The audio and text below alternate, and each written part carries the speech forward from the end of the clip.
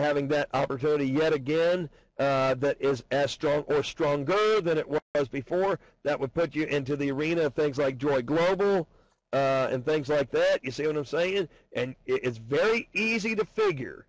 And just going through the indexes very quickly, you know, just like I just did right there. You're looking for a pattern. Where is the one that has the most price compression and the biggest backdrop of technical strength present on the daily charts alone? And then quickly just like I just did right here, quickly just drop down to that group and sector that has that kind of thing and look for the ones that have the technical patterns that are the most advanced in that sector.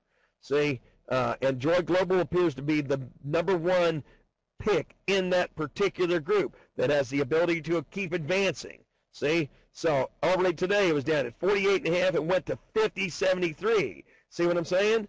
But you see the technical strength, price at a new low, indicator not.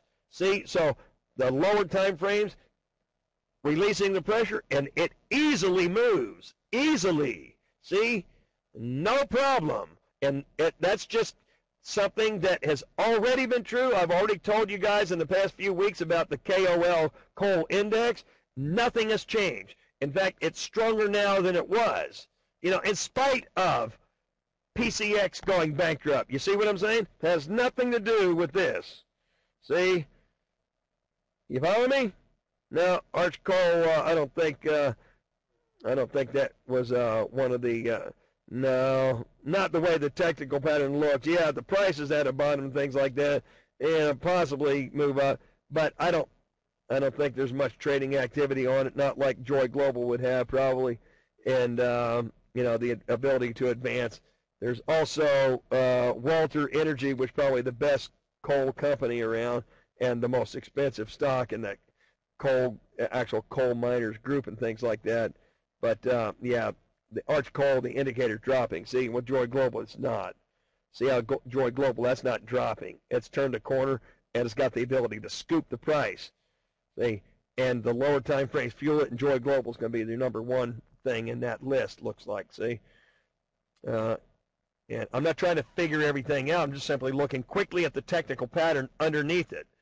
And it easily uh, defaults to Joy Global and, and, not the other things. And we're not looking just at the price, you know, being a double bottom. We're not looking at that.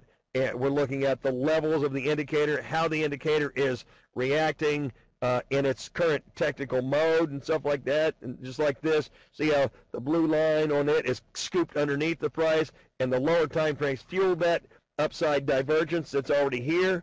See, like that. You see what I'm saying? That's compared this to this. You, you follow what I'm saying? Could easily put put it up over 55. You follow me? It just moved two dollars or something during the day today. So you think moving it another uh, five dollars before the entire end of the week is going to be difficult. See, you get the lower time frames fueling, it'd be a piece of cake.